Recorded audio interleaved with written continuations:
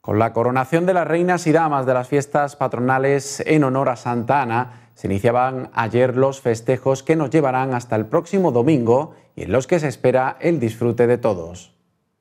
Ayer se llevaba a cabo la coronación de las reinas y damas de la Feria de Santa Ana en Manilva.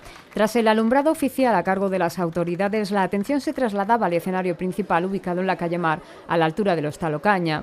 Tras el saludo del delegado de fiestas, Daniel Muñoz, y del alcalde de Manilva, Mario Jiménez, que desearon una feliz feria a todos los presentes, daba comienzo el acto de coronación de las reinas y damas, que representarán a la patrona de este núcleo a lo largo del próximo año preparado un programa en el que cabe todas las edades de la familia, desde los más pequeños hasta la tercera edad, pasando por supuesto por la juventud. Bueno, y esperando, como yo he dicho antes aquí en el escenario, de que nosotros podemos tener muy buena voluntad, podemos hacerlo muy bien, podemos ponerle mucho cariño al programa, pero si los manirbeños, si nuestros visitantes, si todo el pueblo no participa en todo lo que son los eventos que hemos preparado, pues no tiene sentido. Así que animo a todos que participen en estos días.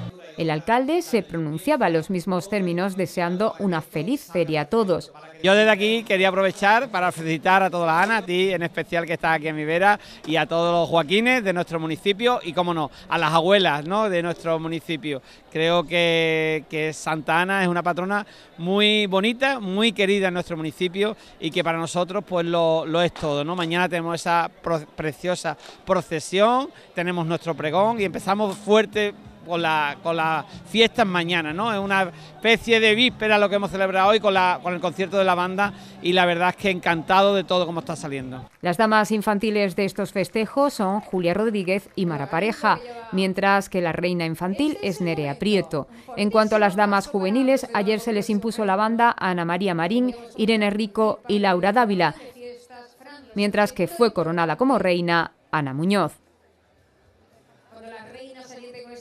La reina mayor que se mostró muy sorprendida y emocionada es este año Nina Ledesma, que estuvo muy arropada por toda su familia. El primer teniente de alcalde, Diego José Jiménez, se refería a los primeros compases de la feria y deseaba unos días de diversión y entretenimiento a vecinos y visitantes. Es verdad que Manilva tiene una programación muy variada de festejos, de fiestas, de ferias populares, las verbenas, en fin, que nos esforzamos todas las delegaciones para que todo luzca bien hay que montarlo, mañana hay que limpiar, la policía trabaja cuando los demás nos divertimos, protección civil, es la verdad que un equipo de gente que pone todo lo mejor de sí mismo para que disfrutemos entre todos de, esta fiesta. Invitamos a todos los que nos ven y nos escuchan a que se acerquen a nuestra feria. Tras la coronación se inició el baile con el primer paso doble, interpretado por la Banda Municipal de Música de Manilva, que posteriormente nos deleitaron con un gran concierto que hizo poner en pie a los presentes. De ahí en adelante la actividad se trasladó al escenario ubicado junto al Ayuntamiento de Manilva, donde la música se prolongó aún durante varias horas.